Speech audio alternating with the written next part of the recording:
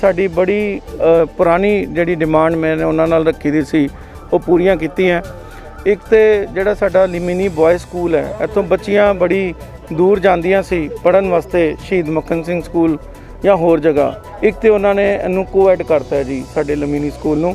ਕਿਸ ਤਰੀਕੇ ਨਾਲ 2.5 ਕਰੋੜ ਰੁਪਇਆ ਮੈਂ ਰਿਕੁਐਸਟ ਕੀਤੀ ਦੀ ਹੈ ਸੀਐਮ ਸਾਹਿਬ ਕੋਲੋਂ ਮੰਗੇ ਦਾ ਪਿਛਲੇ ਬਜਟ 'ਚ ਸਕੂਲ ਵਾਸਤੇ। ਪਲੱਸ ਉਹ ਕੁਝ ਪੈਸਾ ਦੇ ਰਹੇ ਨੇ ਕਿ ਇਹਨੂੰ state of the art school ਅਸੀਂ ਕਿਸ ਤਰ੍ਹਾਂ ਬਣਾਈਏ? ਇੱਥੇ 2.5 ਕਰੋੜ 3 ਕਰੋੜ ਰੁਪਇਆ ਲੱਗੇਗਾ। ਮੈਨੂੰ ਲੱਗਦਾ ਹੈ ਸਕੂਲ ਬਹੁਤ ਹੀ ਵਧੀਆ ਬਣ ਜਾਏਗਾ। ਇਹਦੇ ਵਿੱਚ ਪ੍ਰੋਪਰ ਡਿਜੀਟਲ ਕਲਾਸਿਸ ਦੇ ਨਾਲ ਫੈਕਲਟੀ ਦੇ ਨਾਲ, ਆਪਣੇ ਕਿਉਂਕਿ ਬੇਟੀਆਂ ਨੇ ਪੜ੍ਹਨਾ ਆ ਕੇ, ਤੇ ਇਹਨੂੰ ਪ੍ਰੋਪਰ ਅਸੀਂ ਤਰੀਕੇ ਨਾਲ ਬਣਾਵਾਂਗੇ। ਤੇ ਇੱਥੇ ਇੱਕ ਡਾਈਟ ਦੇ under ETT teacher training school ਬਣ ਰਿਹਾ, ਜਿਹਦੇ ਵਿੱਚ ਨੌਕਰੀ ਸ਼ੋਰ ਹੁੰਦੀ ਹੈ ਜੀ। 12ਵੀਂ ਤੋਂ ਬਾਅਦ ਜਿਹੜੇ ਸਿਲੈਕਟ ਹੋਣ ਕੇ ਬੱਚੇ ਆਣਗੇ 120 ਉਹ ਸਾਰਿਆਂ ਨੂੰ ਹੀ ਜੌਬ ਮਿਲੇਗੀ ਜੀ। ਤੇ ਮੈਨੂੰ ਲੱਗਦਾ ਹੈ ਕਿ ਜਦੋਂ ਸਾਡੇ ਸ਼ਹਿਰ ਦੇ ਬੱਚੇ ਡਿਸਟ੍ਰਿਕਟ ਦੇ ਬੱਚੇ ਆਪਣੇ ਇਲੈਕਟ ਸਿਲੈਕਟ ਹੋ ਕੇ ਈਟੀਟੀ ਟੀਚਰ ਬਣਨਗੇ, ਚਾਹੇ ਪੰਜਾਬ 'ਚ ਜਿੱਥੇ ਵੀ ਜੌਬ ਕਰਨ, ਇੱਕ ਤੇ ਉਹਨਾਂ ਦੀ ਪਰਸਨਲ ਗਰੋਥ ਹੋਏਗੀ। ਫਿਰ ਤੁਸੀਂ ਦੇਖੋ ਜਿਹੜੇ ਟੀਚਰ ਦੇ ਬੱਚੇ ਹੁੰਦੇ ਨੇ ਮੈਕਸਿਮਮ ਉਹ ਸਕਸੈਸਫੁਲ ਹੁੰਦੇ ਨੇ ਲਾਈਫ ਵਿੱਚ। ਉਹਨਾਂ ਦੇ ਇਮੀਡੀਏਟ ਫੈਮਿਲੀ ਦੀ ਗਰੋਥ ਹੋਏਗੀ।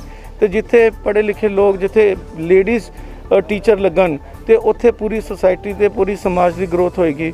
ਤੇ ਇਸ ਚੀਜ਼ ਨੂੰ ਕਹਿੰਦੇ ਹੋਏ ਮੈਂ ਸੀਐਮ ਸਾਹਿਬ ਦਾ, ਕੈਪਟਨ ਅਮਰਿੰਦਰ ਸਿੰਘ ਜੀ ਦਾ, ਸਿੰਗਲਾ ਸਾਹਿਬ ਦਾ ਬਹੁਤ ਦਿਲੋਂ ਸ਼ੁਕਰੀਆ ਅਦਾ ਕਰਨਾ।